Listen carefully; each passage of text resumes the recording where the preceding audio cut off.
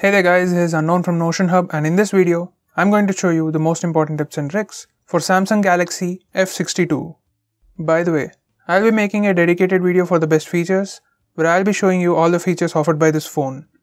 First we have full screen gestures. Once you enable this, you can swipe up to go home, swipe up and hold for recent apps, swipe from left or right to go back. You can swipe up diagonally from bottom left or right corner for Google Assistant. You can also swipe on the bottom to switch between apps. Next we have split screen mode. This is how you can enable split screen mode. Go to recent apps page, tap on app icon and then select split screen. This will open the current app in split screen. And from the bottom you can select another app. Now this is how you can enable pop-up view. Go to recent apps page, tap on app icon and select pop-up view and the app will open in small window. Now you can resize the app, select its transparency, minimize it to a bubble, maximize it, and you can also close it.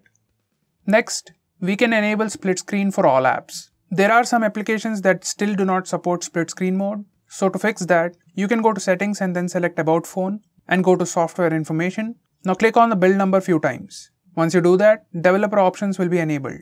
Now if you go back to settings, you can find developer options. Select that and scroll all the way to the bottom and enable force activities to be resizable and then restart your phone.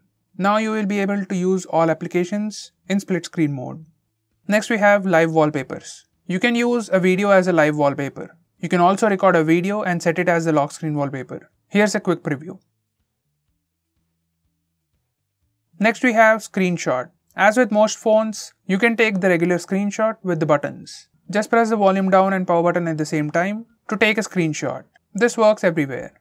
Next we have palm gesture to take a screenshot. If taking screenshot with buttons is hard or you want an easier way, we also get palm swipe gesture. Once you enable this, you can swipe on the screen with the side of your palm to take a screenshot.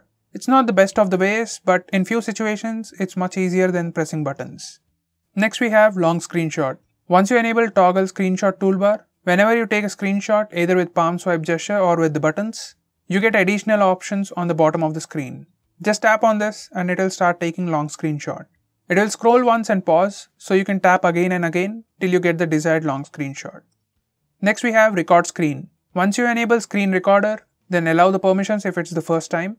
It will ask to select the sound settings, select your preferred setting, and recording will start in few seconds. Now everything you do on screen will be recorded. You can just press the red stop button to stop the screen recording. From its settings, you can even change few more things like video resolution. Next we have maximum power saving mode. If you have critically low battery, you can turn this on and it limits the CPU usage, enables dark mode and does everything to reduce battery consumption. Now you can use the phone for very long time. You can't do much in this mode, but you can add more apps here and you can also use internet.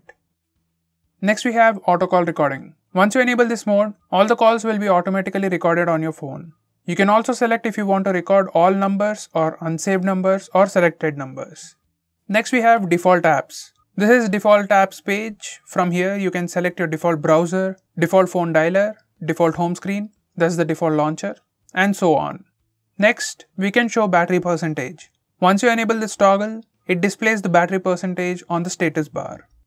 Next, we can disable fast charging. From battery settings, you can disable this toggle fast charging. Next, we can display brightness control all the time. Now this is your brightness slider. You can also put this brightness slider on top and you can do that from here. Select quick panel layout and enable show brightness on top. Now you can access the brightness slider on top. Next, we can change flashlight intensity. From notification panel, tap on the name of flashlight icon. Now you can get this bar to change the brightness. When flashlight is on, you can move this bar for desired brightness of the flash. Next, we have quick settings. In notification panel, you can access quick settings for all these toggles. You can change sound profiles, change flashlight intensity, change blue light intensity, change auto rotate options, change Bluetooth options, and change Wi-Fi network directly from the notification toggles. Next we have home screen gestures. Now these are for notification bar. When you swipe down using a single finger on the status bar, you get the quick notification toggles and then notifications. Now if you do the same thing with two fingers, you directly go to the notification toggle area.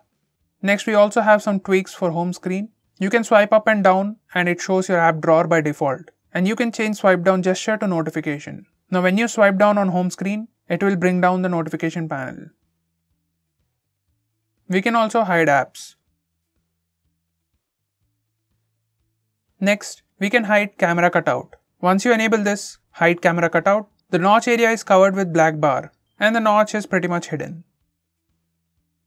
Next, we can disable wallpaper service. Once you disable this wallpaper service option, the lock screen wallpapers no longer change and a single wallpaper will be fixed. Next we have side key feature.